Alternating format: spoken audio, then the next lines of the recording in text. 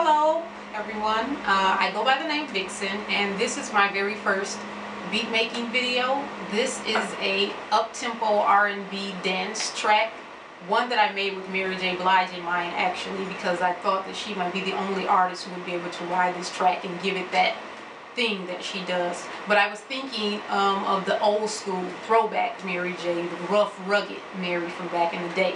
So it does have that old school sound and feel and some old school elements to it, but that's intentional. I wanted it to feel like it was something from that era, but still sound like something that can be played today. It's not a very intricate beat, um, and that's because I do not know how to play any instruments. I have quite a few keyboards and uh, I know like five, six guitars over there, some other instruments around here, but I don't know how to play anything. I basically play around with everything.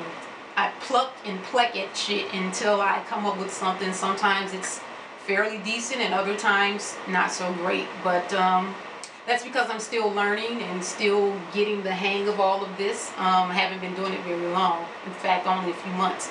But um, I feel comfortable enough now to share and try to get some feedback and get some help from you guys. So please give me your honest opinions. Rip me to shreds. I have tough skin. I can handle it as long as it's helping me get better. Um, like I said, this is not a very complicated beat. In fact, my drum part only has three sounds to it. A snare, a clap that I added other sounds on top of it just to give it the sound that I want, and a 808 by the way, I don't know if you guys will be able to hear the 808 through that camera. It's not low, it's just the speaker on that camera and the shitty acoustics in this room. I'm not sure if it'll come through that well, but I will be playing a sample of the finished product at the end of this video. So, yeah, let's get down to it.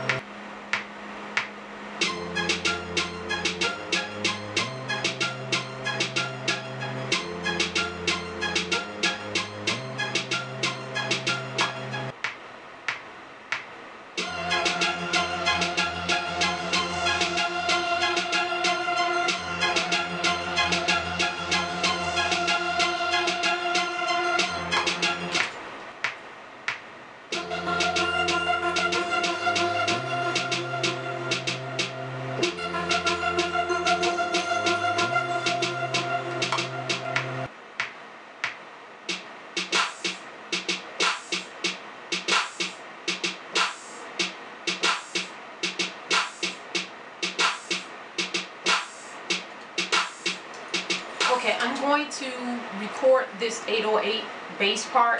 Um, I don't believe you're going to hear it through there. I don't know. I'll keep it in the video whether you can or not because it's you'll definitely hear it in the final mix, which it's really aggressive in there, like almost really like banging out your ears, which is how I wanted it to be. So I'll record it, but we'll just have to see what the end result is going to be.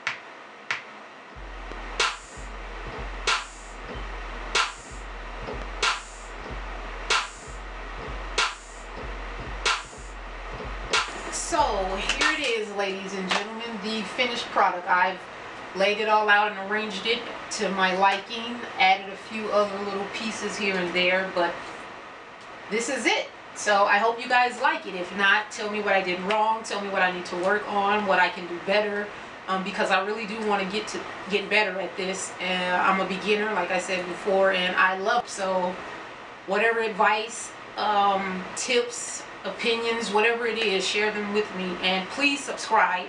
I need subscribers. Uh, sub me and I'll sub you back. Hit me up. I'll always respond. So, yeah. Thanks a lot. See you guys next time.